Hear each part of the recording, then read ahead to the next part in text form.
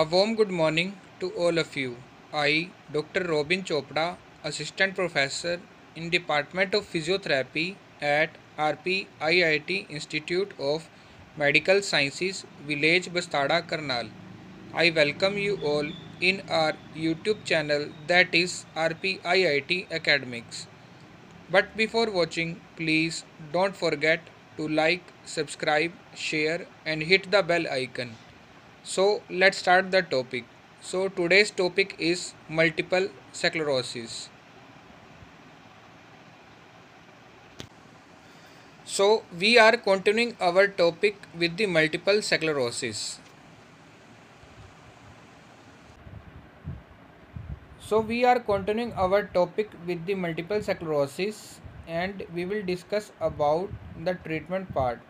So basically the treatment involves this decrease in the exacerbations of the symptoms and the second is to treat the relapsing and the remitting disease and the third one is the it helps in the refractive relapsing remitting disease prolongations and the fourth one is the to stop the chronic progressions of the disease. So basically the treatment of the exacerbations involves the methylprednisolone of having the amount of 500 to 1000 mg which is usually taking 4 times a day with the oral taper. And the second involves the oral high dosage of the steroids. And the third one involves the plasma exchanges. And the fourth one involves the intravenous immunoglobulin administrations.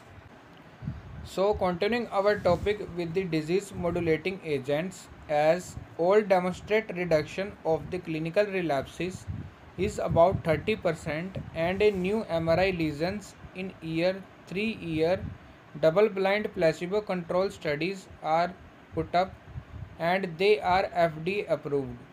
And the second is the usage of the interferons basically the beta interferons or the avonex or the Rebif and the second is the beta interferons 1b or the 1 beta which is involves the Betaserons which is the marketing name or the marketing manufacturer name and the second one involves the glatiramer acetate which involves the drugs like the copaxone or the copaxone.